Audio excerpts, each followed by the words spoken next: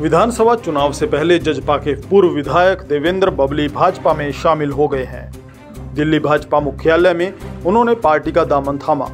उनके अलावा गुरुग्राम के पूर्व जेल सुप्रिंटेंडेंट सुनील सांगवान व संजय कबलाना भी भाजपा में शामिल हो गए हैं।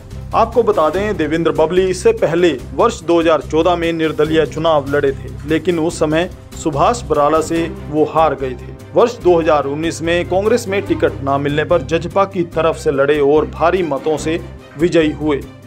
भाजपा और जेजेपी में गठबंधन होने के दौरान विधायक देवेंद्र सिंह बबली का किसानों ने विरोध किया था। वर्ष 2021 में बबली को सरकार में पंचायत मंत्री बनाया गया। वहीं बात करें संजय कबलाना की तो एक बार फिर भाजपा का दामन पकड़ लिया है। विधानसभा चुनाव के बीच भाजपा में शामिल होना राजनीतिक गलियारों में चर्चा का विषय बन गया है। कयास लगाए जा रहे हैं कि बादली से एक बार फिर भाजपा की टिकट पर संजय कबलाना चुनाव लड़ सकते हैं।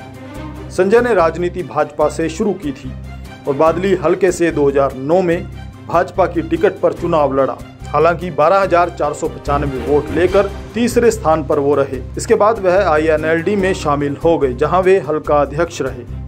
2019 में जजपा से बादली हल्के से चुनाव लड़ा और अट्ठाईस वोट लेकर तीसरा स्थान बनाया। जजपा में संजय कवलाना ने जिला अध्यक्ष, जजपा प्रदेश पंचायत सेल के अध्यक्ष रहे।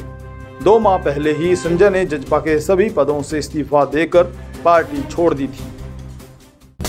देश और दुनिया की और भी बड़ी खबरों को देखने के लिए हमारे चैनल को सब्सक्राइब ज़रूर